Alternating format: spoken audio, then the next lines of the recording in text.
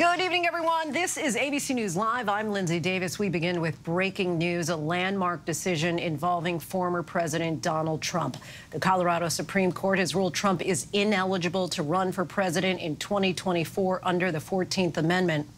The court is citing the so-called insurrection clause in the Constitution because of the role they believe Trump played on January 6th. Colorado's Secretary of State is now ordered to exclude Trump's name from the state's Republican presidential primary ballot. The historic decision now sets up a major battle before the nation's highest court. Leading us off tonight, ABC News political director Rick Klein and ABC News legal contributor Kim Wehle. Rick, let's start with you. What exactly are the documents outlining as the rationale for not allowing former President Trump on the ballot?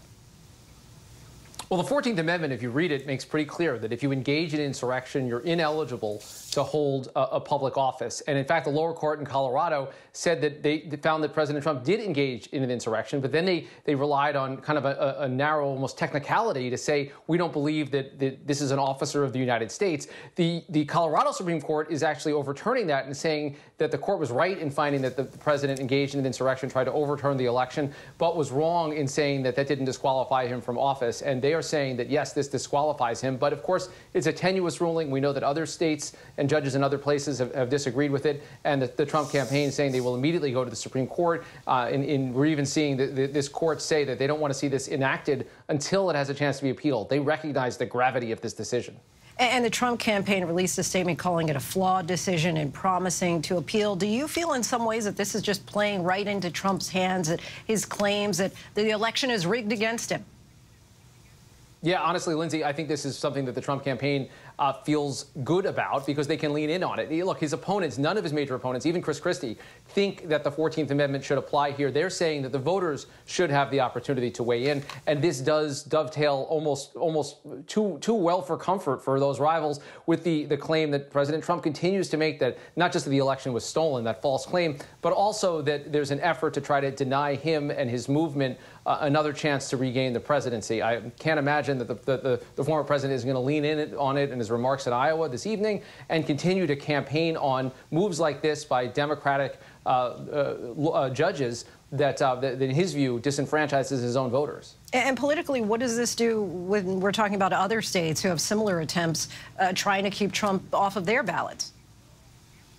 Well, we know that in, in, six other states, we've seen judges reject these arguments. So it is, of course, uh, a, a, very split decision, to say the least, to have now one court in Colorado, the Supreme Court in Colorado, have this opinion. Uh, it is going to almost certainly have to go to the United States Supreme Court to, to, to sort out. Uh, it might give cover to other other efforts to, to try to to try to uh, deny ballot access. But I think now there's going to be realization that only the Supreme Court is going to be able to sort this out. We have national elections in this country. We also have elections, though, that are administered by the state, which is what gives the Colorado Supreme Court uh, the ability uh, and, in fact, the, the necessity to rule on a challenge like this. And President Biden did win Colorado in 2020 with 55% of the vote. So how big could the impact be if this really is allowed to stand? Is this state really seen to be as in play for Republicans in 2024? Uh, yeah, I think the least of the concerns are Colorado and its 10 electoral votes, not just because Colorado isn't really a frontline battleground like it used to be just a few election cycles ago. It has drifted to the left, but also because it is likely that there's going to be a national standard set on this. And if the U.S. Supreme Court rules on it, it's going to make that clear everywhere. In the meantime, though, we'll have a bit of a hodgepodge in a waiting, in a waiting period. All right, Rick, thank you so much. And for more on this, I want to bring in ABC News legal contributor and professor of law at University of Baltimore, Kim Wehle. Kim, thanks so much for joining us. Uh, what's next for the former president here? The Colorado Supreme Court ruling against him. They're promising to appeal. Now what? Well, it would go to the Supreme Court of the United States, which now already is considering Donald Trump's claim of complete absolute presidential immunity for January 6th. And there's also a related case um, that could affect two of the counts uh, pending against him in D.C. relating to the January 6th insurrection. Also, the Supreme Court just took that. So that's that's a lot on the plate of the Supreme Court, and there's of course a lot of pressure um, across the board because the caucuses are coming up. The you know uh, Super Tuesday, and of course, the election is less than a year away in November of next year.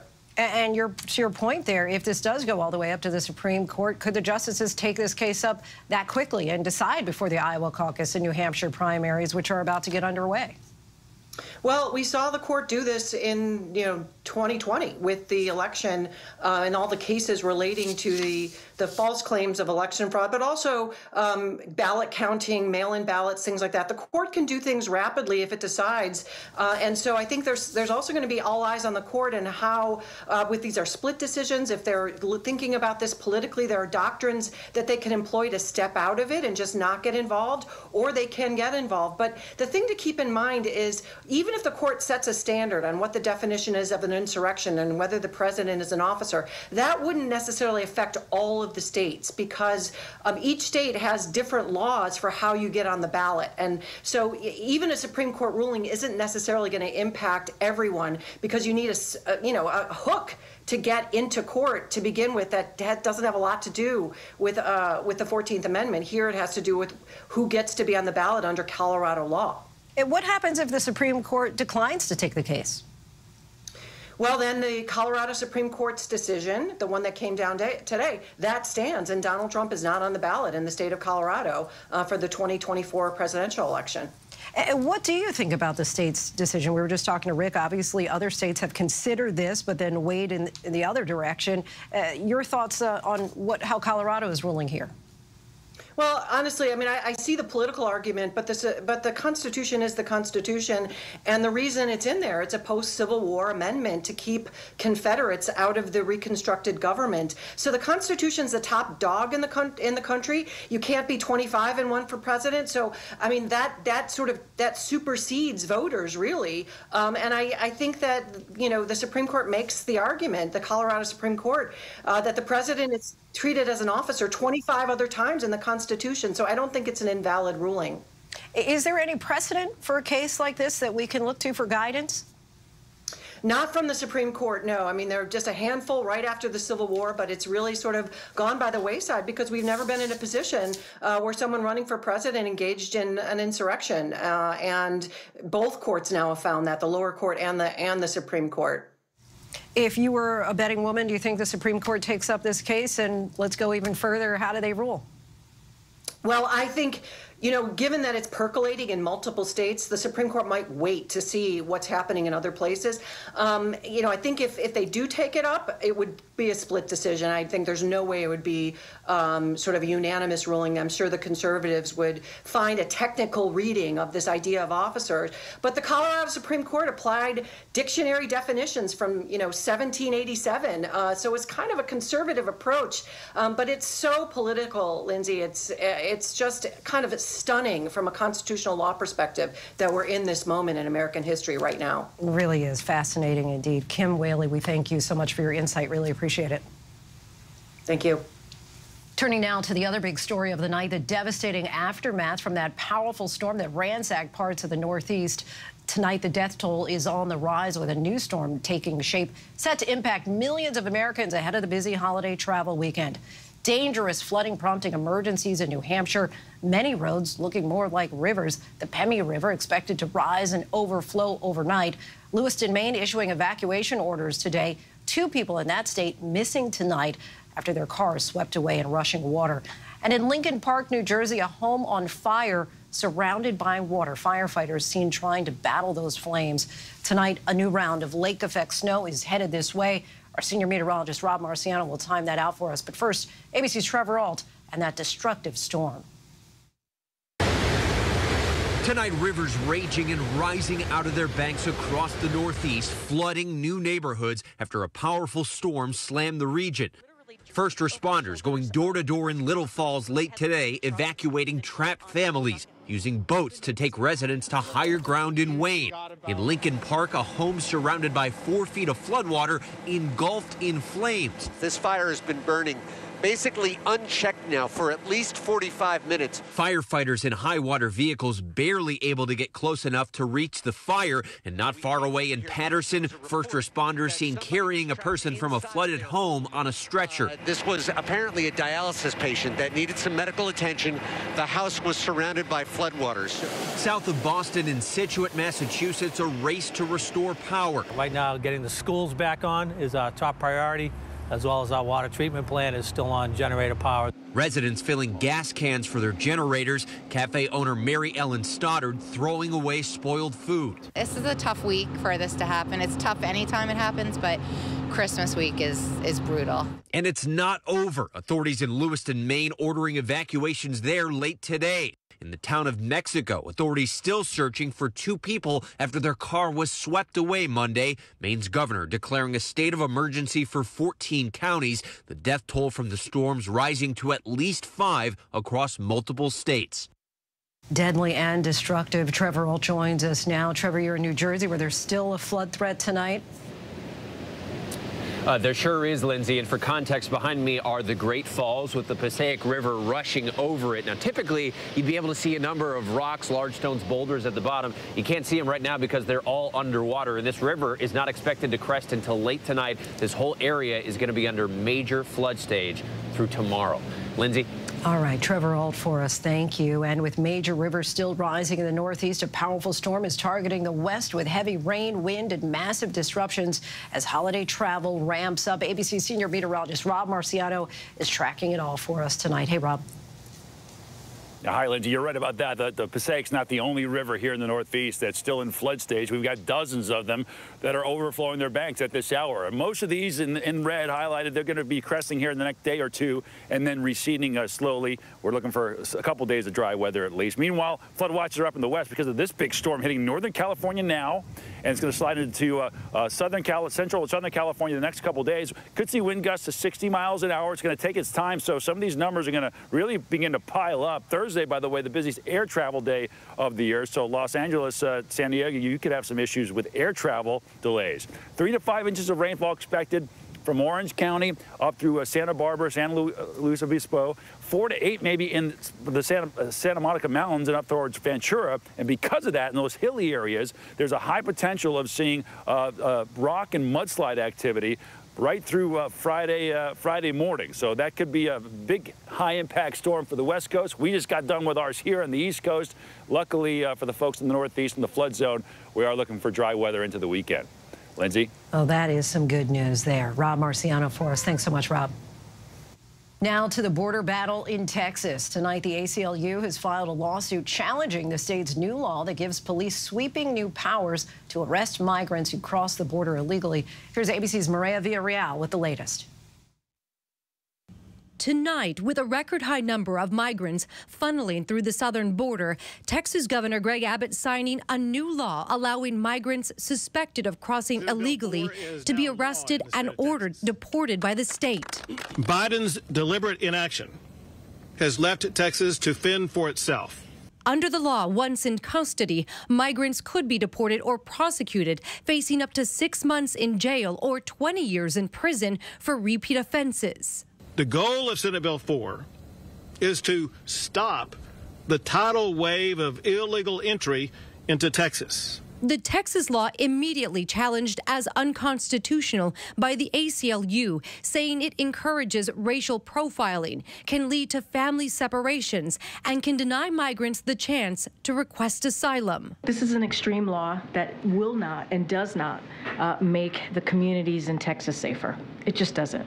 There is an undeniable crisis at the border. Sources telling ABC News Customs and Border Protection encountered more than 12,600 migrants Monday, a daily record high, apprehending 11,000 outside legal ports of entry, the highest daily total in more than two decades. The strain on U.S. resources unprecedented.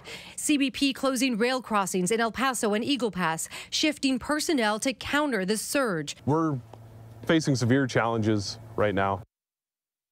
Linsey, these laws could go into effect as early as March, but critics say that it is the federal government's job, not the state, to police the border. As of right now, Abbott is saying that he will take this all the way to the Supreme Court, though, if he has to. Linsey? Maria, thank you. The Texas Civil Rights Project is part of that lawsuit challenging the new border law. And joining us now, Aaron Thorne, the senior staff attorney for the Beyond Borders program at the Texas Civil Rights Project. Aaron, thanks for joining us. Let's start with the lawsuit. Why the decision to sue? Yeah, the decision to sue here was pretty easy and clear.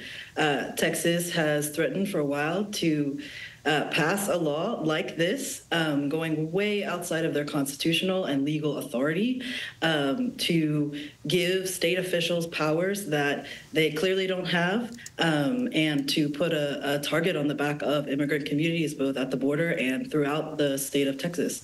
So, given that, uh, the decision to sue here was was pretty clear. How is this new measure going to affect communities there? So this bill, uh, despite the fact that uh, proponents of the bill have, um, you know, said that that this would affect the borderlands uh, within 50 miles of the borderlands, which uh, millions of Texas Texans call home, uh, this law can be applied throughout the state of Texas, uh, regardless of where you are. Um, and so, you know, communities, immigrant communities, very far from the border, are right to to fear criminalization under this law. Uh, we just heard the numbers, a record number of migrants illegally crossing the border yesterday, more than 12,000. Uh, what do you propose as a solution?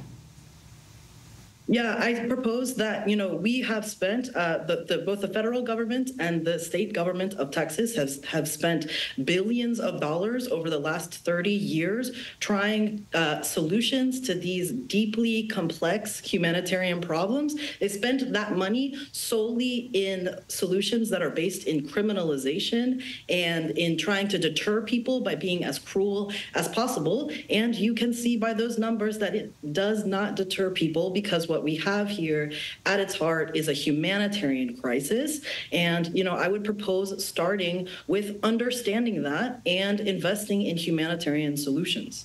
And lastly, if Governor Greg Abbott is listening tonight, uh, what would you want to say directly to him?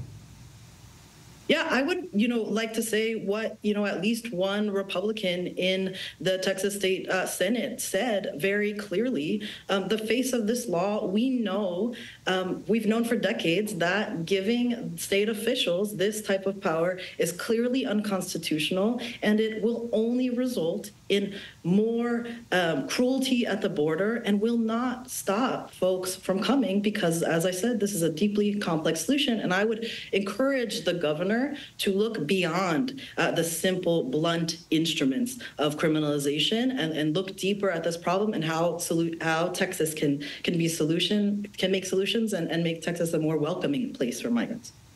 Aaron Thornton, we thank you so much for your time and insight. Appreciate it. Thank you. Tonight, we're seeing new video that captures the moment a powerful explosion ripped through a home in South Florida. The family inside was injured but miraculously survived. ABC's Victor Oquendo is on the scene. Tonight, authorities are investigating what caused a massive gas explosion that leveled this home south of Fort Lauderdale. The house is completely gone. Doorbell cameras capturing a blast so powerful it blew a nearby door right off its hinges and sent a giant fireball into the night sky. Witnesses say it sounded like a bomb. A big bang, like, uh, like as if a car ran into the house. That home, now a pile of rubble. The four people inside, including two children, made it out alive with broken bones and burns, some with life threatening injuries. I hear the loud noise. A big boom? Big boom. Boom! Boom! Shaking all the, the, the house, all the windows, all the doors. Officials suspect the explosion was caused by propane, but they're still investigating. The home was completely destroyed. It appeared to be by uh, some type of gas. Just yesterday, a propane explosion killed one woman at this hotel in Lancaster County, Pennsylvania. And last week, another person was injured in a home explosion nearby that officials suspect was also caused by a propane gas leak. So scary. Our thanks to Victor for that. Fallout from the Israel Hamas war is growing as Iranian backed militants step up attacks on commercial ships in the Red Sea. In return, the U.S. has launched an international naval task force to protect that vital shipping lane. ABC's Britt Clennett is in Israel tonight. Tonight, Iran backed Houthi rebels in Yemen launching two more attacks on commercial ships in the Red Sea, just as the U.S. announced a naval task force to counter the threat. The US joining nine countries to escort vessels passing through the crucial trade route after major companies, including oil giant BP, paused operations. Bottom line is, these attacks have to stop. They need to stop. They're unacceptable. Uh, the United States, our allies, and our partners will do what we have to do to counter these threats and to protect these ships. But the Houthis vowing further attacks in retaliation for Israel's war in Gaza. Britt Clennett joins us now from Israel. Britt, we know that there was new hostage video just released. What are you learning about that? That's right, Linsey. Another hostage video released tonight. Images showing Gadi Moses and Elad Katzir, who were kidnapped on October 7th. And also tonight, Prime Minister Netanyahu, he met with hostage families, saying their release is his highest mission. Meanwhile, the situation in Gaza growing more dire by the day. The death toll could hit 20,000 tomorrow, or certainly in the next couple of days. It's expected to. Linsey. All right, Britt Clennett reporting once again from Tel Aviv for us. Thanks so much, Britt. Officials in Iceland are monitoring a volcano as it continues to erupt. Last month, authorities evacuated nearly 4,000 residents, but as of now, the lava is flowing away from the only nearby town. Today, the government released a statement saying the eruption does not present a threat to life and that there are no disruptions to flights to and from Iceland. International flight corridors remain open. Still ahead here on Prime tonight, the new document set to be released in connection with disgraced financier Jeffrey Epstein. But next in our Prime focus, the fight for clean water. As millions of people around the world struggle to get access, we speak to the water warriors, shining a light on just how dire the situation really is. Whenever news breaks, we are here in Israel, a nation at war after that brutal surprise attack by Hamas. On the ground in Ukraine, reporting from Lewiston, Maine. The scene of a horrific mass shooting. ABC News Live is right there everywhere. From the scene of that deadly missile strike in Dnipro, Ukraine, reporting from the earthquake in Turkey. In Rolling Fork, this tornado tore through this little town. From the most devastating disaster in Hawaii. From Charleston, South Carolina, on the 2024 campaign trail. In Iceland, let's go. Traveling with the president in Mexico City. Wherever the story. From the front lines, from southern Israel. Outside the Gaza Strip. In Beirut. From the FBI. Reporting from the nurses on the picket line. Here at 10 Downing Street in London. Streaming live to you. Wherever the story is. Wherever the story is. Wherever the story is. We're going to take you there. You're streaming. ABC News Live. ABC News Live. You're streaming ABC News Live. ABC News Live. Streaming free everywhere. America's number one streaming news. First thing in the morning. There's a lot going on. Everybody in that home is okay. To catch you up with what happened overnight. We are here at fashion's biggest night out. What's happening today? YouTube has unveiled a new set of policies. What people are talking about, the new ad campaign. Fast, straightforward. With some fun in between. A real life Barbie dream house. A name change for the Wienermobile. First thing in the morning. America This Morning. America's number one early morning news. On ABC News Live. All right, here we go. You ready? Let's do it. Yes, it's the show America wants and America needs right now. This is What Would You Do? Let's go. How are you? Hug you. Yes. So what will you be watching Saturdays on ABC News Live? What would you do? Hey, I guess I just found out. the What Would You Do Marathon, 2 to 6 Eastern, every Saturday on ABC News Live. My favorite show. Tonight, as extreme weather ravages parts of the world, from the flooded waters of Australia to the torrential rains and dangerous winds hitting New York, we want to shine a light on the silent crisis that's happening around the globe the lack of access to clean drinking water. One in four people worldwide carry this burden, and unless you personally don't have access to tap water, it's something you probably don't spend much time thinking about. In tonight's Prime Focus, we traveled to Mexico to meet some water warriors fighting for clean water everywhere.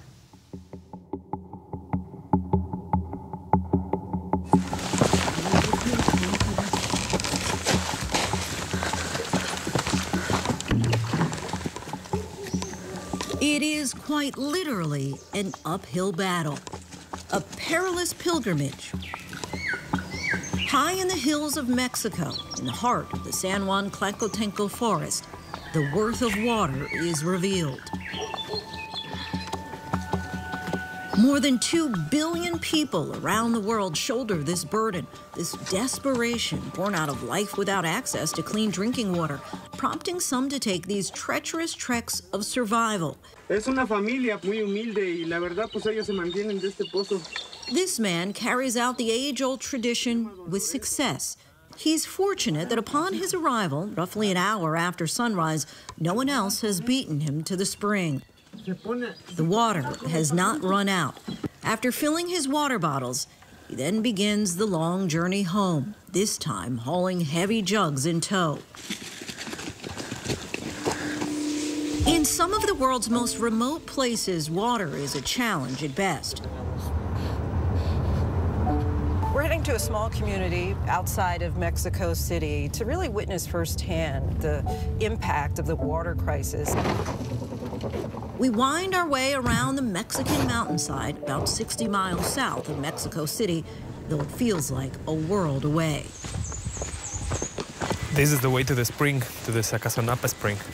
And this spring has been around for hundreds of years. And this is the closest spring to the community. Tracing the steps of this life-threatening tradition in pursuit of a precious lifeline. It is right over here. But this is the travel yeah, that a person needs to do. If you have a lot exactly, of water. Exactly, carrying a jug of water, doing this, it is particularly hard. Yeah, I can only imagine. It's hard enough without any water. Right? And this is the spring. The steep climb concludes here. This has been a tradition for many of the villagers here for generations where they make this trek, sometimes several times a week, in order to get access to clean water from this sacred spring right here. And this water comes directly from the forest. Often women bear this burden, and it's one many are unaware of. Around the globe, women spend 200 million hours a day collecting water for their families. Eva Flores endures the hardship personally and professionally. Her restaurant, Los Aguandos, is one of the only restaurants here in San Juan Tlacotenco. Oh, también aquí. She tells us she worries about water every single day. ¿Tú tienes suficiente? No, no, no, no, no nunca. nos alcanza. No, nunca compramos por pipa aquí el agua. There is never enough. She primarily relies on the rainwater she harvests during the rainy season to run both her household as well as her business. ¿Tú estás muy preocupada cada día para agua? Claro que sí. Sí, sí porque pues, le digo, aquí nos hace, pues, lo primero, lo primero, el agua. Uh -huh. Uh -huh. Pues aquí no, no, no, no tenemos agua potable.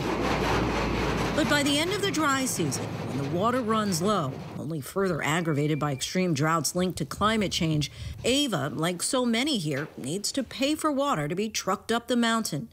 We've seen certain communities where people spend as much as 20% of their income on water, which is insane. The giant tank right in Ava's front yard was installed by Isla Urbana, a local water NGO specializing in improving rainwater harvesting. Gets channeled in most of the places that have very severe water access problems in Mexico are also very remote, rural, mm-hmm. predominantly very indigenous communities. This tank acts as a storage vessel to capture rainwater. It's connected to a filtration system, making it more manageable to do basic domestic necessities. And when it runs out, it can be filled back up by a water truck. When you have water crises like this, everybody always thinks of like access, no, like not having enough water. But the, the quality problem is just as big. Enrique Lomnitz founded Isla Urbana when he saw the water issues plaguing his hometown of Mexico City. It's one of the largest cities in the world, and it's running out of water. The, the, street level is dropping about a foot and a half per year because of how quickly we're drawing water out of the ground. So yeah, 22 million people running out of water. Uh, it's like a pretty terrifying thought. A terrifying thought so many are facing. And Isla Urbana is just one of many organizations worldwide building solutions to help create equal access to water for all. Hey, hey, how you doing? So nice to meet Nice you. to yeah, yeah. And so is one of Hollywood's biggest superstars. Matt Damon has taken on perhaps his most significant role yet. What made you decide, you know, I want to use my platform for good specifically in this way? As I started to learn about issues of extreme poverty, I was just shocked at how water really undergirded everything.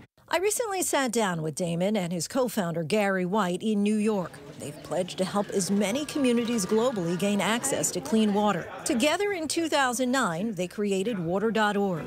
This is the global water crisis. The organization has already empowered more than 52 million people with access to safe water or sanitation through affordable financing in 11 countries and four continents. One after another, these women, uh, among the most vulnerable on the planet, are really taking charge of their own solutions. And that's what's exciting for us, is it's not our story at all, it's their story. The reaction for kids, for girls and women who have been spending the majority of their days, you know, just in search of water, and now all of a sudden they have water. It's sheer liberation, right? You're, uh, you're unshackled from this really uh, onerous existence. Your day is dominated by how am I going to find and collect water versus the ability to go to school and to start to think about, okay, well, what kind of life could I actually build for myself? It's a complete game changer. Each small loan they dole out literally transforms lives. One woman we met in the Philippines, she was paying about $60 a month in this slum for these water vendors. She took out one of these loans. Now she's paying $5 a month for the loan repayment and $5 a month for her utility bill.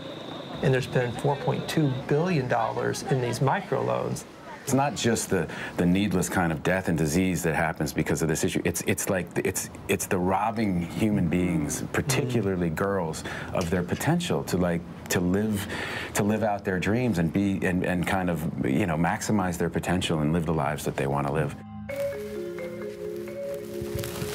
Hola, Rosalba. Hola, buenos días. Yo estoy Linsey. Bienvenida a la casa, mucho gusto. Oh, igualmente. Dreams that Rosalva hopes will come true for her 14 year old daughter Dulce. Hubo un tiempo donde ha pasado de que no hay agua y por ciertas cosas te enfermas. Dulce, which means sweet, knows the bitter reality of life without regular access to water. It's a luxury here in the rural hills of San Juan Tlacotenco. Dulce says she dreams of a day she doesn't have to worry about water or wait for the rain to come. Tenemos que esperar a que a veces la lluvia, o sea, que llueva para tener agua. Entonces lo que me gustaría es de que eso no pasara, que tuviéramos agua sin, digamos, sin restricción, sin tener que estar comprando. Rosalva explains to us that it's been raining less and less here and that she's forced to buy her own water.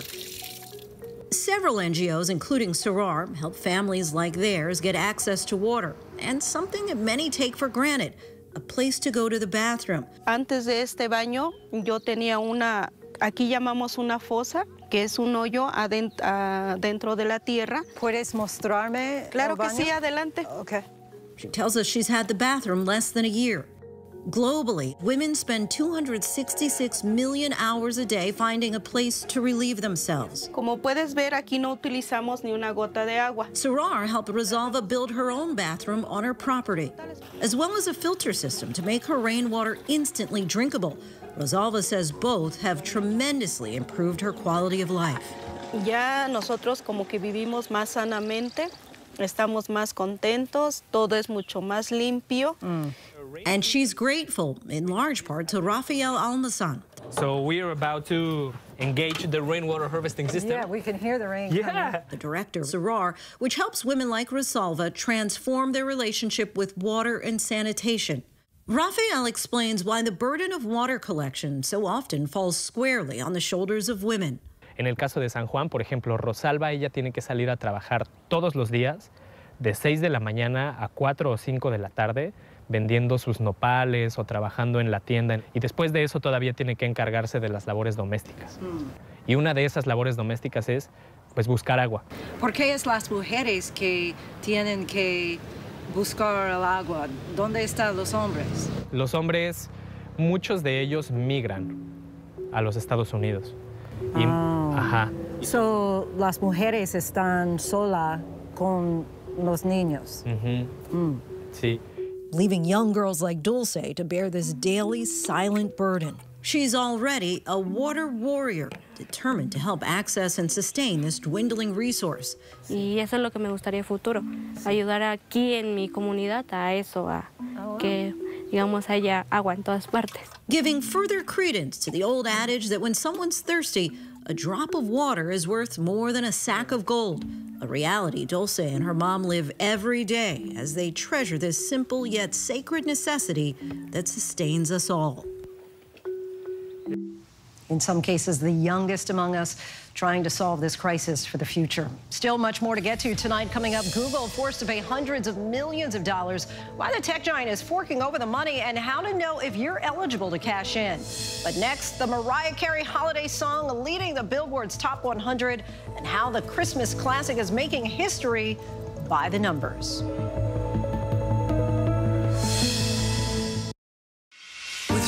At stake, so much on the line, more Americans turn here than any other newscast. ABC News World News Tonight with David Muir, America's number one most watched newscast across all of television.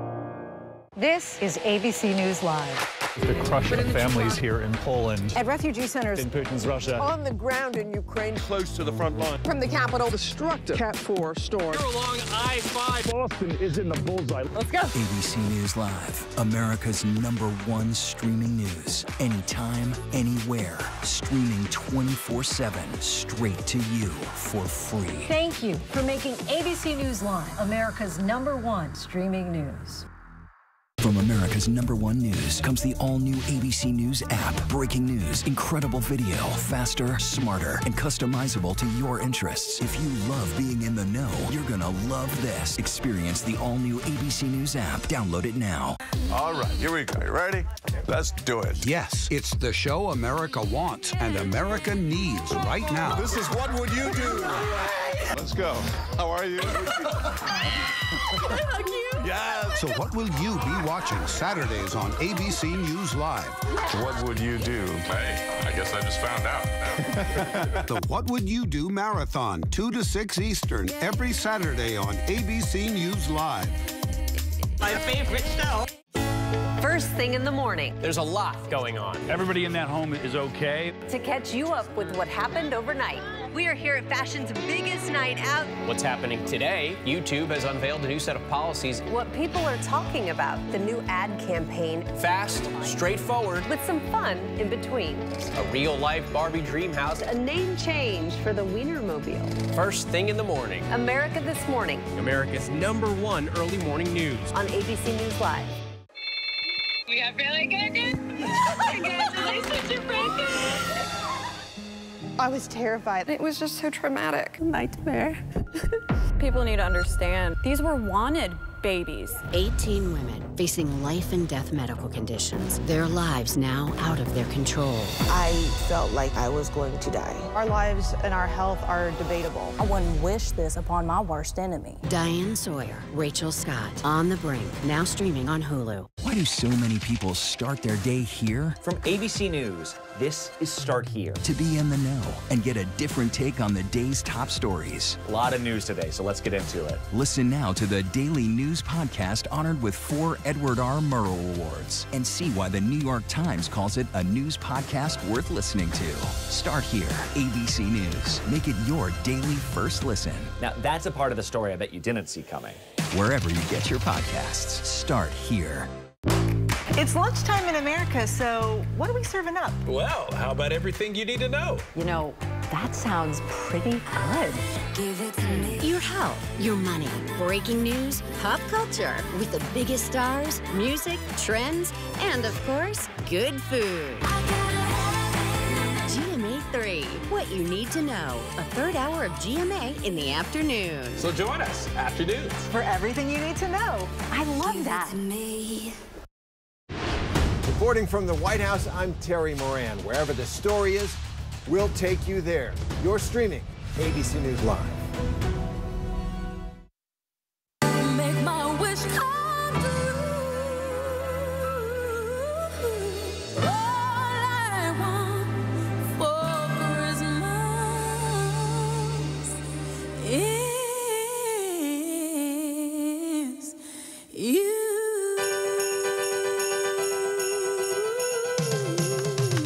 I was going to try and hit that high note, but I'll spare you all. That is Mariah Carey's hit song, All I Want for Christmas Is You. The holiday classic is back in the number one spot on Billboard's Hot 100 list. So as Americans everywhere crank up the holiday tunes this time of year, we take a look at the chart topper by the numbers. 13 straight weeks. That's how long Carey's Christmas jingle has topped Billboard's list. And it's a record fifth straight holiday season. The song has reached the number one spot. The tune was originally released back in 1994, but it actually didn't make it into Billboard's top 10 until 2017, 23 years later. In 2019, the song took the number one spot for the very first time and has been hanging on ever since. The singer once said when she wrote it, she had no idea the impact it would eventually have worldwide. In 2021 alone, Billboard estimated the song generated about $6.1 million in master recording and publishing revenue based on 94,000 downloads and 823 million streams. Billboard estimates that Carey likely pocketed about $1.5 million that year from the master recording profit and is one of the song's two writers. Her share of the publishing revenue would have been about $830,000 if it was split in half. Millions more went to her label, Sony Music. And in case you're wondering what song was knocked out of the number one spot before Mariah's song took over, that would be Brenda Lee's Rocking Around the Christmas Tree. And we still have much more ahead here on Prime tonight. Shocking new details about a body found at a Kentucky lake more than 20 years ago. Plus, the officer who shot an 11-year-old boy in Mississippi is speaking out. What he said when asked about the judgment he used during that incident. Whenever, wherever news breaks, it's so important to always remember that lives are changed. Here in London, in Buffalo, Uvalde, Texas, Edinburgh, Scotland, from Poland once again tonight. Thank you so much for streaming with us. Ukrainian refugees here in Warsaw. Do you think you'll ever be able to go back home? We're heading to a small community outside of Mexico City. Splintered houses and splintered lives. And the magnitude of the devastation. You're streaming ABC News Live. Reporting from Rolling Fork, Mississippi, Santa Fe, New Mexico, Raleigh, North Carolina, the U.S. Capitol, Mayfield, Kentucky, Minneapolis, Mexico, Tongass National Forest, Alaska. Getting you behind the stories as they happen, giving you a front row seat to our world as it plays out in real time, live. ABC News Live Prime. We'll take you there. Stream ABC News Live weeknights, America's most honored streaming news program, only on ABC News Live. Streaming free right now wherever you stream your news. First thing in the morning. There's a lot going on. Everybody in that home is okay. To catch you up with what happened overnight. We are here at fashion's biggest night out. What's happening today? YouTube has unveiled a new set of policies. What people are talking about, the new ad campaign. Fast, straightforward. With some fun in between. A real life Barbie dream house. A name change for the Wienermobile. First thing in the morning. America This Morning. America's number one early morning news. On ABC News Live. This is ABC News Live. The crush of families here in Poland. At refugee centers. In Putin's Russia. On the ground in Ukraine. Close to the front line. From the capital. Destructive Cat 4 storm. We're along I-5. Boston is in the bullseye. Let's go. ABC News Live, America's number one streaming news. Anytime, anywhere. Streaming 24-7, straight to you for free. Thank you for making ABC News Live America's number one streaming news. Whenever, wherever news breaks, it's so important to always remember that lives are changed. Here in London, in Buffalo, Uvalde, Texas, Edinburgh, Scotland. Reporting from Rolling Fork, Mississippi, Ukrainian refugees here in Warsaw. We're heading to a small community outside of Mexico City. Getting you behind the stories as they happen. ABC News Live Prime. We'll take you there. Stream ABC News Live weeknights wherever you stream your news. Only on ABC News Live. Get ready, America, every Friday. The hottest trends, styles, and must have. What's the right stuff to buy right now? I really love that. It's time to buy the right stuff. Yes. And save big time, too. The right stuff. Fridays on GMA. You're going to love it. Why do so many people start their day here? From ABC News, this is Start Here. To be in the know and get a different take on the day's top stories. Start here. Now, that's a part of the story I bet you didn't see coming. Make it your daily first listen wherever you get your podcasts. All right, here we go. You ready? Let's do it. Yes, it's the show America wants and America needs right now. This is What Would You Do? Let's go. How are you? Yeah. So what will you be watching Saturdays on ABC News Live? What would you do? Hey, I guess I just found out. the What Would You Do Marathon, 2 to 6 Eastern, every Saturday on ABC News Live. My favorite show.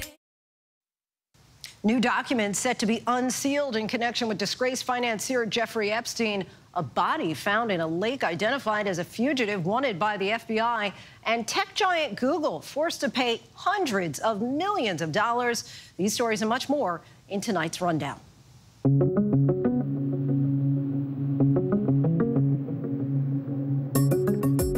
Federal judge has ordered a vast unsealing of court documents that will publicly reveal the names of many of convicted sex trafficker Jeffrey Epstein's associates. The documents are part of a settled civil lawsuit that alleged Ghislaine Maxwell facilitated the sexual abuse of Virginia Giuffre. Anyone who did not successfully fight to keep their name out of the civil case may be revealed, including victims, co conspirators, and innocent associates. The release has been set for New Year's Day, giving anyone who doesn't want their documents revealed time to object. The body found in a Kentucky lake more than two decades ago has been identified as an FBI fugitive. Kentucky State Police say they identified the body of Roger Parham with advanced DNA testing. Parham went on the lam from officials in Arkansas after he was arrested and charged with rape in 1998. The body, now identified as Parham, was found in May of 99. Police are now investigating how Parham's body may have ended up at the lake. A Tennessee clinic has found a case of lead poisoning connected to recalled apple puree. That reported by our ABC News affiliate in Nashville. The clinic says one patient had high levels of lead after allegedly eating a Wanabana apple cinnamon fruit puree pouch. The pouches were voluntarily recalled in October. An ongoing FDA investigation found that cinnamon at the facility where the pouches are made had extremely high levels of lead. The CDC said more than 200 cases across 33 states have been linked to the recalled purees. Google has agreed to pay about $700 million to make changes to settle allegations that it's been stifling competition against the Android Play Store. Details of the deal, struck back in September with state attorneys general, come out just after Google lost at a trial over the same issues. Google will let users of its Android mobile devices bypass the Play Store and directly download apps. Most of the settlement money will go directly to more than 100 million consumers across the country, with a small portion going to a fund for states to disperse to consumers with similar claims. A group that represents major tech companies is suing Utah over its new laws that say how and when children and teens can use certain computer apps. Utah signing these strict new rules this year, which dictate how minors can use social media, including requiring a parent's approval and age verification, as well as limiting what times children and teens can use those platforms. NetChoice is a group representing companies that include TikTok, Meta, and X. It's filed a federal suit to stop those first in the nation laws, saying they violated constitutional rights. Those laws set to take effect in March. They've released five gray wolves on Colorado land, marking the official start to reintroduce the wolves to that state. That historic release took place in Grand County after residents voted in favor of a ballot measure to bring back the endangered species to Colorado. Animal Control brought those wolves from Oregon, vaccinated, and then fitted the animals with GPS tracking before their release. Colorado officials want to reintroduce at least 10 to 15 wolves in the state by March, 30 to 50 wolves over the next three to five years. It's a case that raised a number of questions. An unarmed 11 year old boy shot by a police officer in Mississippi. A judge is now sealing the release of police body camera video that recorded the moment back in May. A decision that comes a day after a grand jury decided not to indict Sergeant Greg Capers following a state investigation that found Capers did not engage in criminal conduct in the shooting of Darian Murray. Officer Capers agreed to sit down with GMA3 anchor DeMarco Morgan exclusively to discuss the incident. It was a situation that I didn't expect to be in. just had no idea that it would turn out that way. It was in the wee hours of May 20th in Indianola, Mississippi, when Aderrien's mother, Nakala Murray, says her ex boyfriend and father to one of her children knocked on her window and demanded to be let inside. 11 year old Aderrien says he was awakened by the commotion and told by his mom to call his grandmother and 911. But according to Nakala, when two officers arrived, they knocked on the door, then tried kicking it down before Nakala let them in. Once inside, Nakala says she told the officers no one was armed. She says they told everyone to come out with their hands up. That's when 11 year old Aderrien, following the officer's commands, says he came out of his bedroom with nothing in his hands and was shot in the chest. For those who say having a badge comes with a ton of responsibility and they believe you acted poorly that day. Unless they're in our shoes, you just never know what you may run into. Spur of the moment. It's a split decision that has to be made. Have you thought about that little boy since that day? All the time. All the time. The aftermath of that decision was tragic. Aderrien suffered multiple injuries, including a collapsed lung and a lacerated liver. I talked to Aderrien less than two weeks after the incident. I came out doing this, so I ran across the corner, and then I just got shot. And then I ran to, to my mom, and then so I was bleeding from, from my mouth. Then my mama, she was applying pressure to my chest. Aderrien said he came out, raised his hands. He recognized you. Did you know this little boy leading up to the situation, or had you ever met him? I met him before. I met him before. Um, there's two sides to every coin, two sides to every situation, and of course they're saying that, but I can tell you that's just not the way it happened. No justice, no peace. Officer Capers was suspended without pay and remains under administrative non-paid leave. And just days ago, a Mississippi grand jury determined he won't face any criminal charges. Aderrien's mom says she's fighting to prevent Sergeant Capers from returning to active duty. I asked him several times to describe what he believes happened the day of the shooting, but he declined to answer on advice from his attorney citing pending lawsuits. So you think you did nothing wrong? I hate it that it happened. Definitely wasn't intentional. I hate that it happened. I've shed many tears, done everything I can to get this situation off of me. Aderrien's mom has filed a $5 million federal lawsuit against Capers and the city of Indianola for her son's injuries and for what she says was a failing to properly train Capers. Can you talk about your training? Real good training. Same training as law enforcement in California, Georgia, wherever. It's certified training. I'm a certified law enforcement officer. I took pride in what I did. I was good at what I did. I'm a public servant at heart. I always will be, regardless of how this turned out with Indianola Police Department. Murray family attorney Carlos Moore says Sergeant Capers' mm-hmm. actions were a clear use of excessive force. But you do understand the outrage. Absolutely. That comes with this situation. This Absolutely. Incident. I'm not, I'm not blaming anyone for the way that they feel. I have no issue with that. Because if it was me in that predicament, I'd probably feel the same way. But I would hope that if it was to happen to me, God forbid, I would let the process take place instead of just jumping ship or passing judgment before, you know, it should be rendered. When we spoke in May, Aderrien told me that up until this incident, he wanted to be a cop. You wanted to be a cop? Yes. You still want to be a police officer? No. Why? Because I got shot. I do want to be a doctor now. When I talked to him, he said he wanted to be a police officer before this incident. He changed his mind after that day. Your thoughts, your words to him. I, I hate that it, that's his mindset right now. Um, I can't say that I blame him, but nevertheless, even though he's such a young child, um, who knows what the future may hold? It may change his mind. Maybe once this all ends, totally ends, maybe he'll see law enforcement in a different light.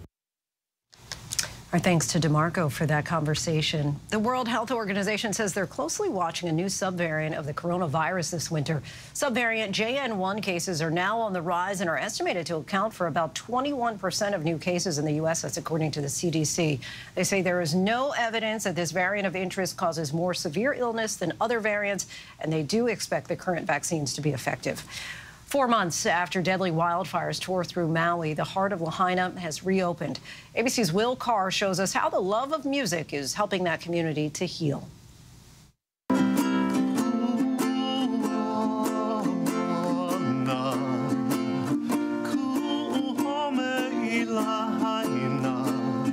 Music on Maui is more than just a melody. It's culture and history and community all wrapped into what's called mele.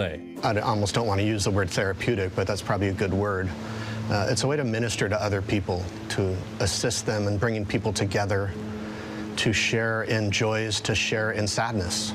For four months, sadness has swept across Maui after fires devastated much of Lahaina, destroying thousands of homes and killing at least 100 people. Lost in the disaster, Lahaina Music, a store filled with instruments owned by Jason and Vanya Jerome. All my personal instruments were in the store when it burned, that was all gone. But we received some generous donations from some people that enabled, uh, Koaloha, for example, gave me this ukulele, which was awesome. The aloha spirit of people being willing to give and help each other out has really been inspiring. Thanks to that aloha spirit, the Jeromes are still playing, joining other Hawaiian artists, including Jack Johnson, striving to keep music on Maui alive. You hardly even notice when I try to show you. Just take them over here and offload them. Over the weekend, free guitars for kids delivering nearly 200 instruments to the island. We really want this to be a transformational gift and not just a transactional. We're not just giving somebody something, we're actually doing it through relationships. The organization teaming up with Johnson and touring artist and longtime Hawaii resident Ron Artis II, handing out guitars and ukuleles to kids at the Ritz-Carlton Kapalua, many whom lost their instruments when their homes burned. I lost a guitar, two ukuleles, a drum, and piano. And so, what does it mean to you to now have the guitar in your hands? I'm happy and I'm excited to play it. Well, practice. Losing a guitar, it's like losing a baby, you know? And just having this opportunity to come up here and just, I mean, get a really nice guitar, it's just, it's amazing, yeah. We pass our instruments down in generations. So if you had an instrument, ukulele from your grandmother, uh, guitar from your grandfather, your great grandfather, that's not replaceable. But we wanted to come and say, hey, we want to give you something that can help with your journey and help keep music, that fire of music in your life. Don't be afraid the pain can't hurt you anymore. Oh, oh, oh. I keep singing. Artis II showing the kids the beauty of music and the healing strength of mele. I love music. It's my favorite thing to do. And I'm really happy to have this brand new guitar. What does mele mean to you? It's about coming together, sharing music and history and lineage and life through song. It's all encompassing, it's all collaborative, and it's something that people can share together. And if you can't sing and you can't play an instrument, just, you know, tapping on a, a, a table to, to keep the beat. And these people have poured knowledge into me very graciously, and now it's my joy to be able to pass it on to others. It's kind of like a river, you're just a part in it. That river still flowing amidst a scarred landscape.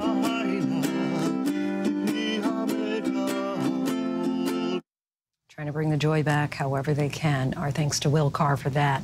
And that is our show for this hour. I'm Linsey Davis. Be sure to stay tuned to ABC News Live for more context and analysis of the day's top stories. Thanks so much for streaming with us.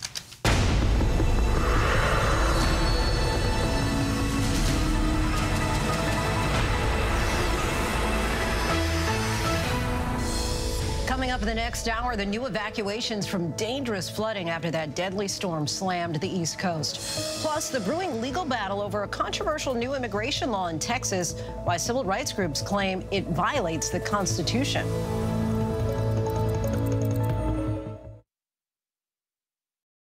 Do so many people start their day here? From ABC News, this is Start Here. To be in the know and get a different take on the day's top stories. Start here. Now, that's a part of the story I bet you didn't see coming. Make it your daily first listen wherever you get your podcasts. From America's number one news comes the all new ABC News app. Breaking news, incredible video, faster, smarter, and customizable to your interests. If you love being in the know, you're going to love this. Experience the all new ABC News app. Download it now.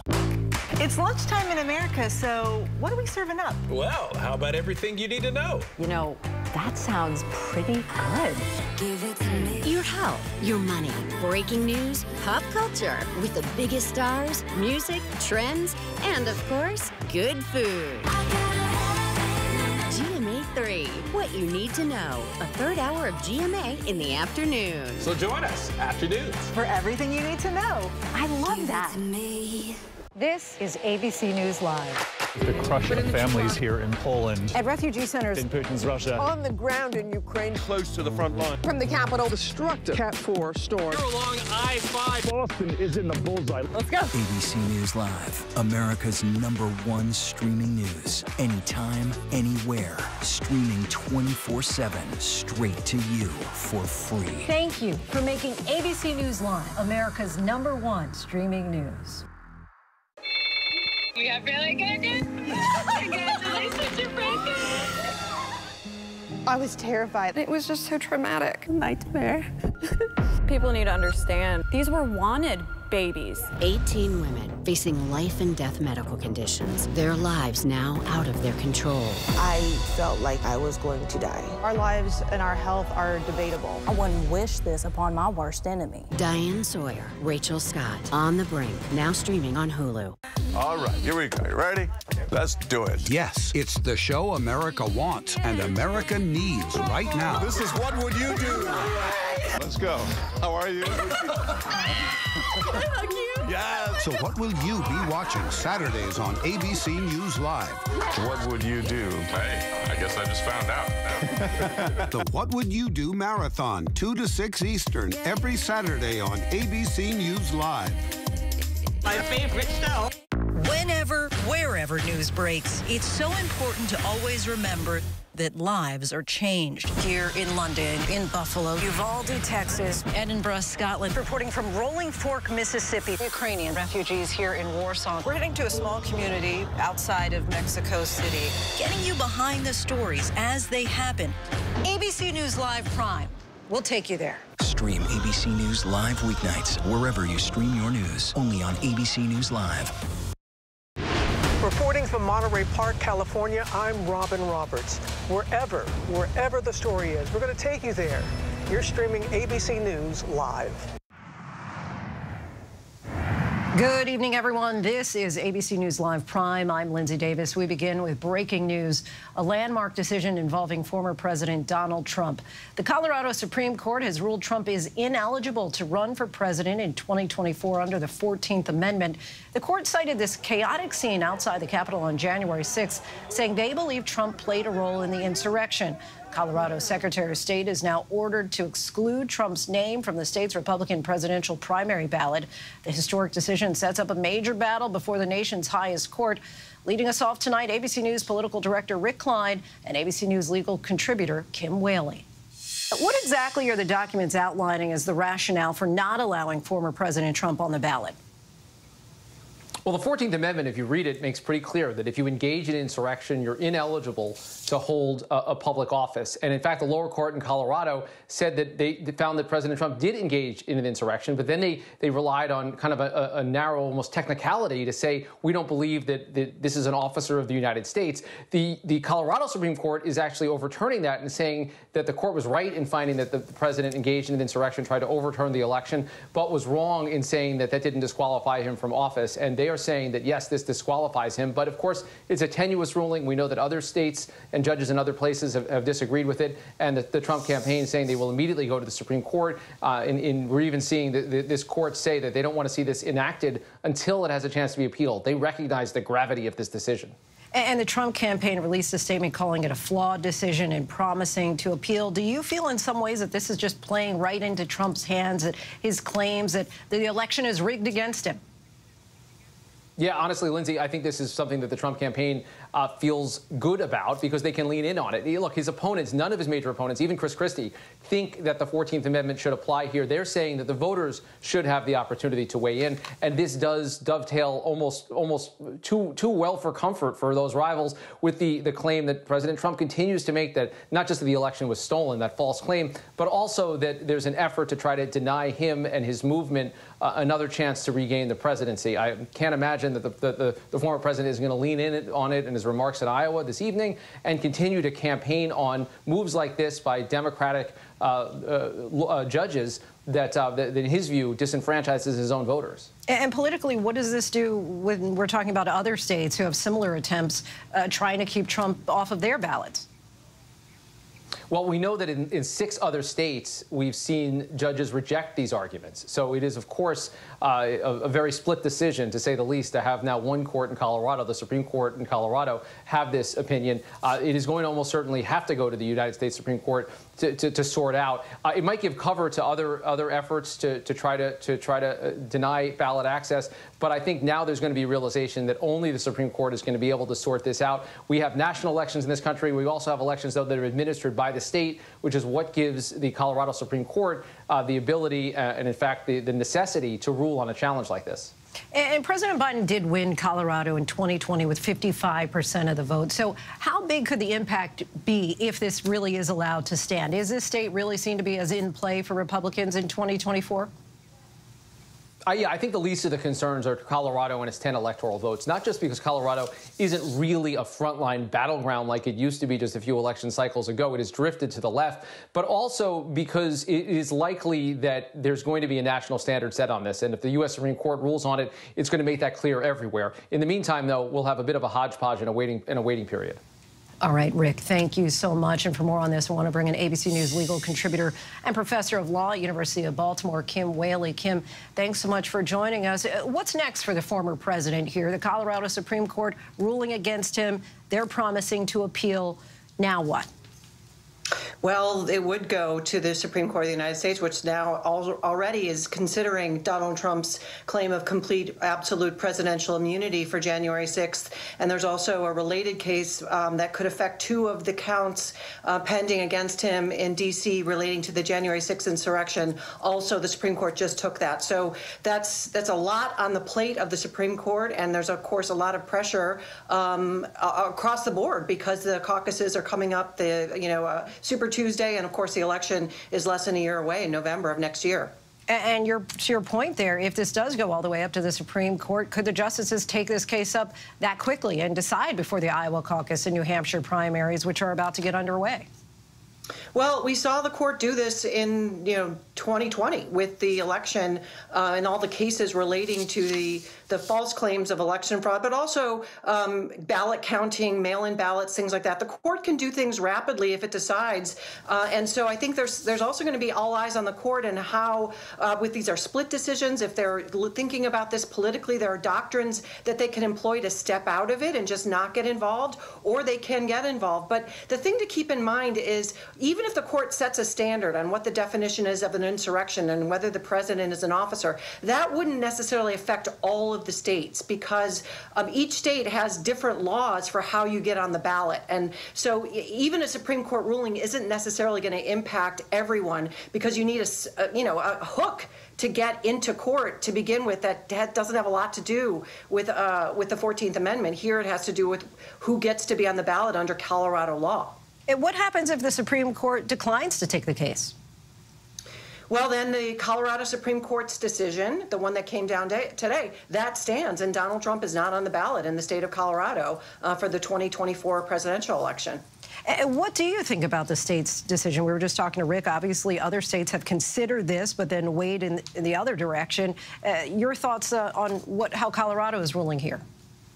Well, honestly, I mean, I, I, see the political argument, but this, uh, but the Constitution is the Constitution, and the reason it's in there, it's a post-Civil War amendment to keep Confederates out of the reconstructed government. So the Constitution's the top dog in the in the country. You can't be 25 and one for president. So I mean, that that sort of that supersedes voters really. Um, and I, I think that you know the Supreme Court makes the argument, the Colorado Supreme Court, uh, that the president is treated as an officer 25 other times in the Constitution. So I don't think it's an invalid ruling. Is there any precedent for a case like this that we can look to for guidance? Not from the Supreme Court, no. I mean, there are just a handful right after the Civil War, but it's really sort of gone by the wayside because we've never been in a position uh, where someone running for president engaged in an insurrection. Uh, and both courts now have found that, the lower court and the, and the Supreme Court. If you were a betting woman, do you think the Supreme Court takes up this case? And let's go even further. How do they rule? Well, I think you know, given that it's percolating in multiple states, the Supreme Court might wait to see what's happening in other places. Um, you know, I think if, if they do take it up, it would be a split decision. I think there's no way it would be um, sort of a unanimous ruling. I'm sure the conservatives would find a technical reading of this idea of officers. But the Colorado Supreme Court applied dictionary definitions from, you know, 1787. Uh, so it's kind of a conservative approach. Um, but it's so political, Linsey. It's, it's just kind of stunning from a constitutional law perspective that we're in this moment in American history right now. It really is fascinating indeed. Kim Wehle, we thank you so much for your insight. Really appreciate it. Thank you. Now to the devastating aftermath from that powerful storm that ransacked the Northeast. Dangerous flooding prompted emergencies in New Hampshire. The Pemi River expected to rise and overflow overnight. Evacuation orders were also issued in Lewiston, Maine today. Two people in that state are now missing after their car was swept away in rushing water. And in Lincoln Park, New Jersey, a home on fire surrounded by floodwaters. Here's ABC's Trevor Ault. Tonight, rivers raging and rising out of their banks across the Northeast, flooding new neighborhoods after a powerful storm slammed the region. First responders going door to door in Little Falls late today, evacuating trapped families, using boats to take residents to higher ground in Wayne.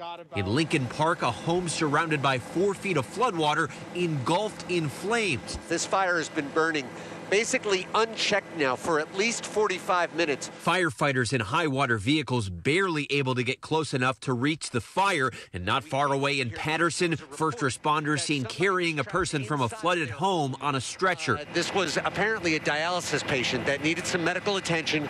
The house was surrounded by floodwaters.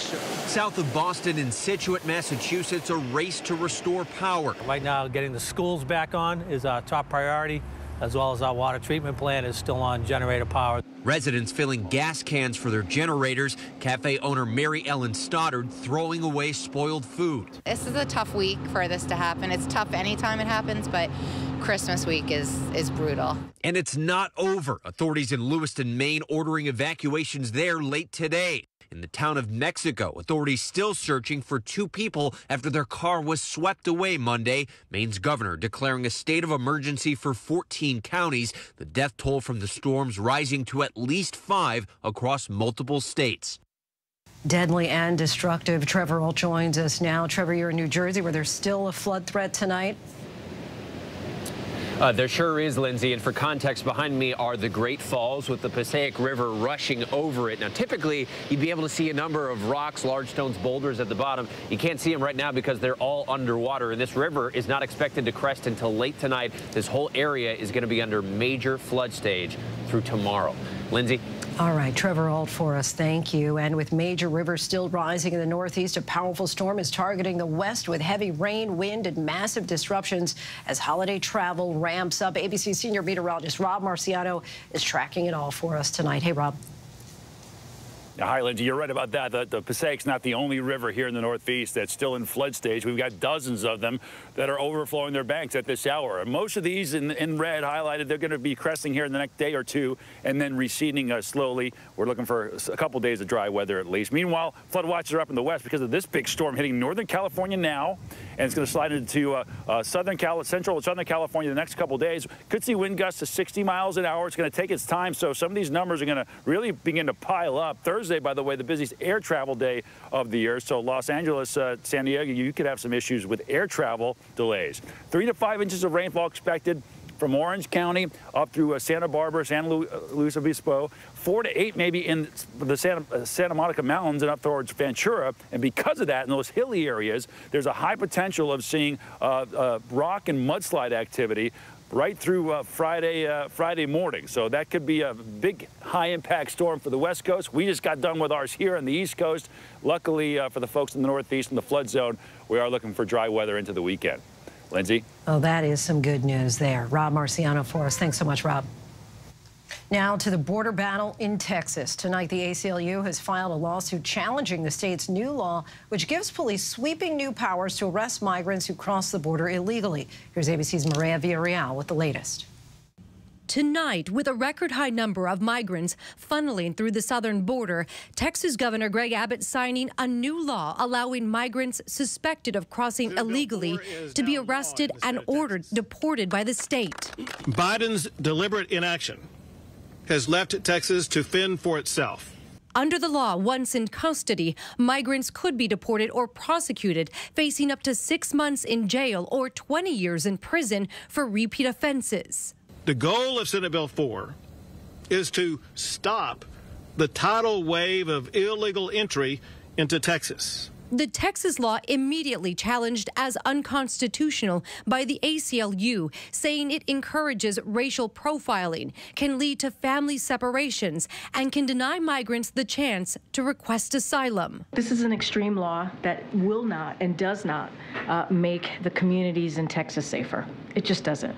There is an undeniable crisis at the border. Sources telling ABC News Customs and Border Protection encountered more than 12,600 migrants Monday, a daily record high, apprehending 11,000 outside legal ports of entry, the highest daily total in more than two decades. The strain on U.S. resources unprecedented. CBP closing rail crossings in El Paso and Eagle Pass, shifting personnel to counter the surge. We're facing severe challenges right now.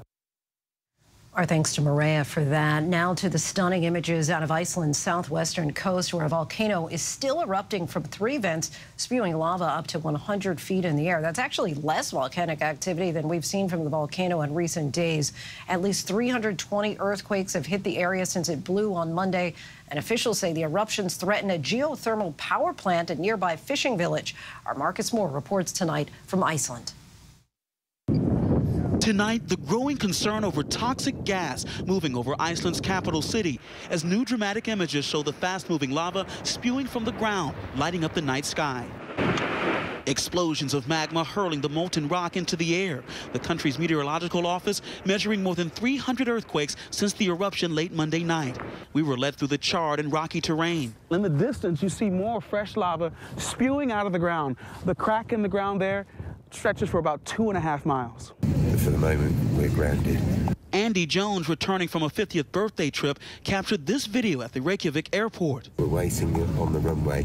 Officials say while the fissure had grown rapidly, the eruption is stabilizing and doesn't present a threat to life. Worst thing ever is that you don't know what's going on, what, what will happen tomorrow. The lava now flowing away from a nearby geothermal power plant and a small fishing town of Grindavik evacuated last month following large cracks that split roads in two. Our thanks to Marcus for that. Still much more to get to tonight on Prime coming up. Tis the season for holiday shopping, but all that gift giving may actually be putting you in financial trouble. We'll help you unpack the psychology behind spiraling credit card debt. But next, the scene in North Korea that's raising questions about Kim Jong un and his succession plans. Whenever news breaks, we are here in Israel, a nation at war after that brutal surprise attack by Hamas. On the ground in Ukraine. Reporting from Lewiston, Maine. The scene of a horrific mass shooting. ABC News Live is right there everywhere. From the scene of that deadly missile strike in Dnipro, Ukraine. Reporting from the earthquake in Turkey. In Rolling Fork, this tornado tore through this little town. From the most devastating disaster in Hawaii. From Charleston, South Carolina, on the 2024 campaign trail. In Iceland, let's go. Traveling with the president in Mexico City. Wherever the story. From the front lines, from southern Israel. Outside the Gaza Strip. In Beirut. From the FBI. Reporting from the nurses on the picket line. Here at 10 Downing Street in London. Streaming live to you. Wherever the story is. Wherever the story is. Wherever the story is. We're going to take you there. You're streaming. ABC News Live. ABC News Live. You're streaming ABC News Live. ABC News Live. Streaming free everywhere. America's number one streaming news.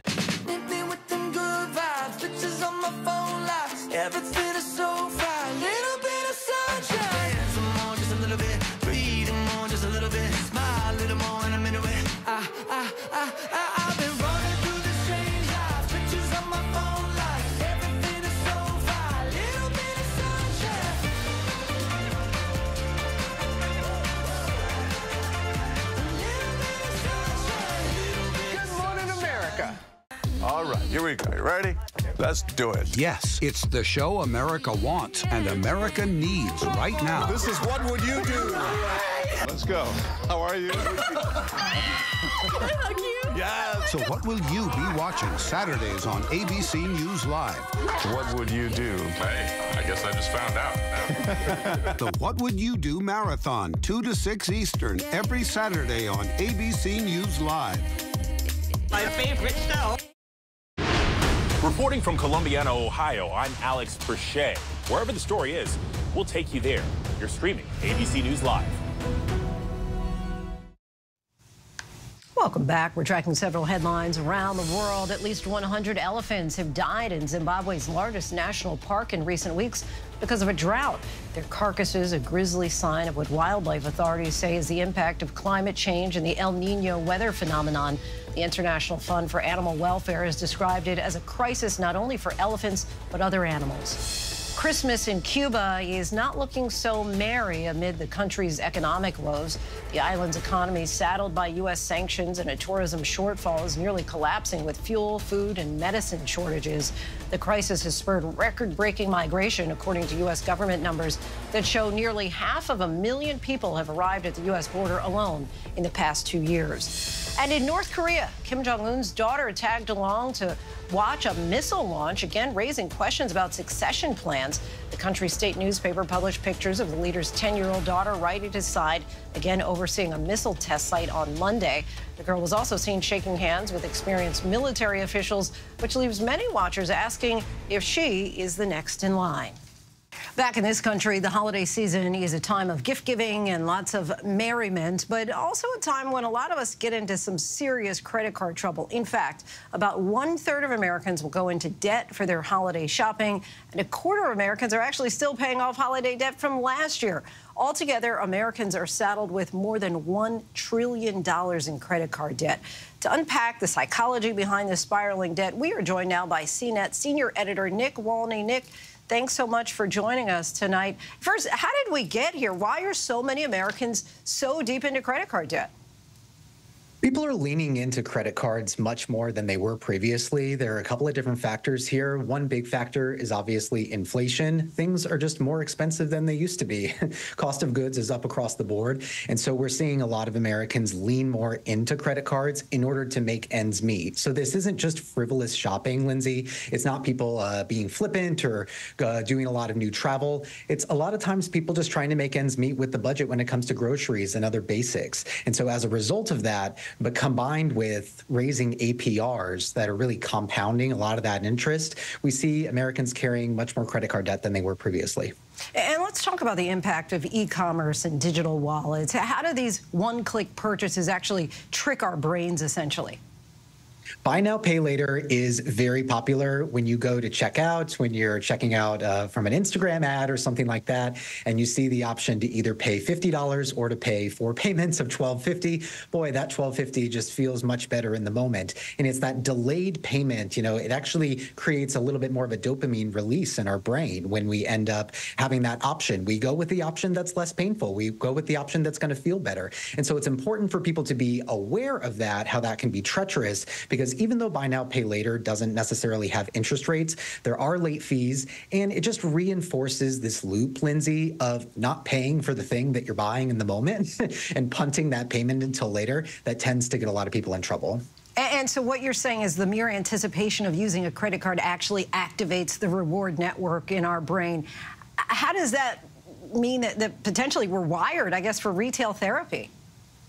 Yeah, exactly. It's a lot of what happens, and a lot of times people think that the uh, the psychology is very much that the pain of payment is reduced when you're using a credit card.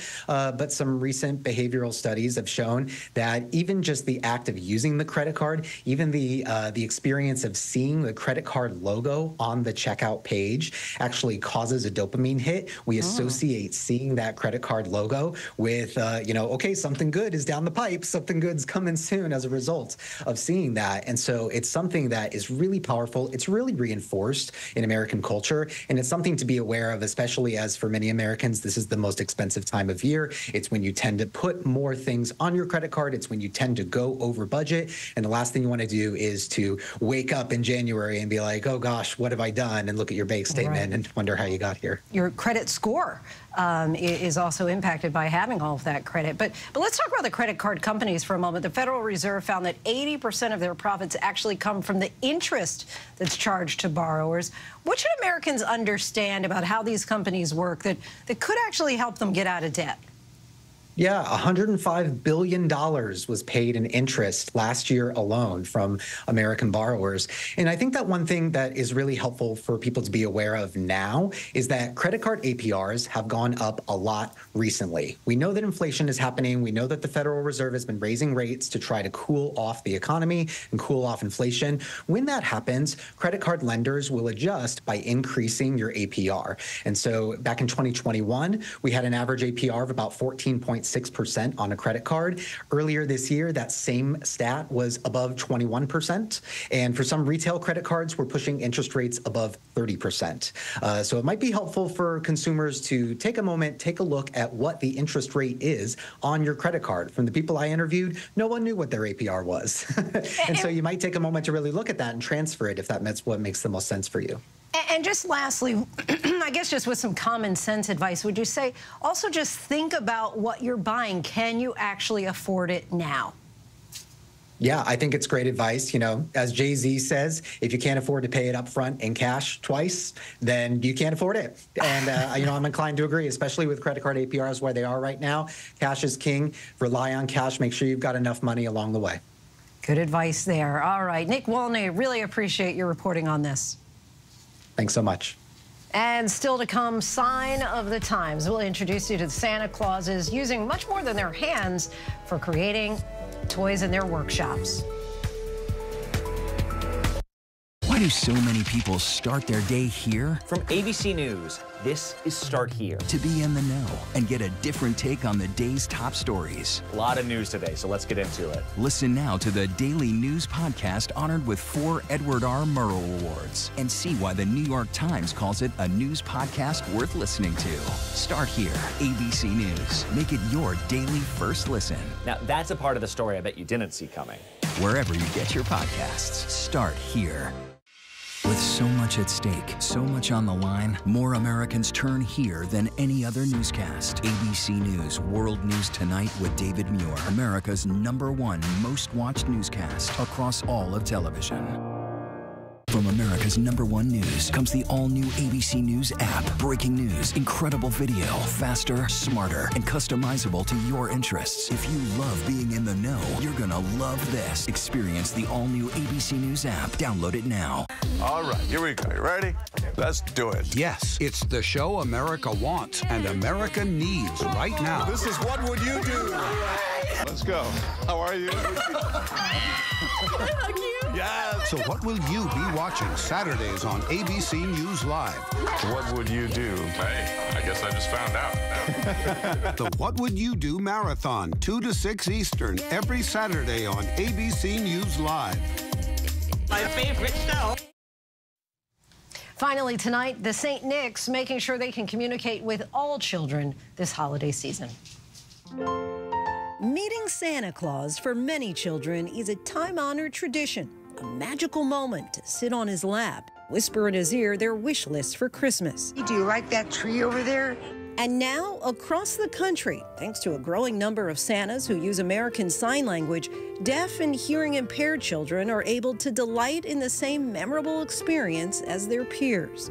This signing Santa in Denver, who's also deaf, knows just how these children feel, sharing this story from his own childhood. And one time we went to visit with Santa Claus. And I saw my three sisters, brother, all laughing, having a great time chatting with Santa. And then it came my turn. He, Santa's smile dropped. His face turned blank.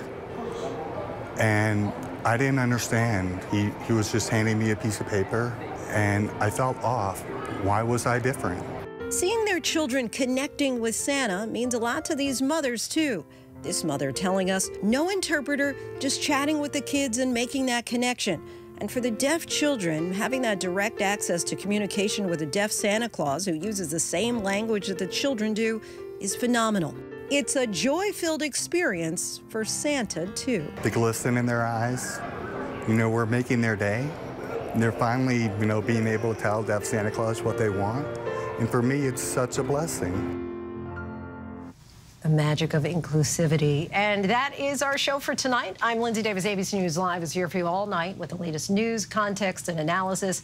You can always find us on Hulu, Roku, Pluto TV, the ABC News app, and of course on abcnews.com. The news never stops. Thanks so much for streaming with us. Have a great night.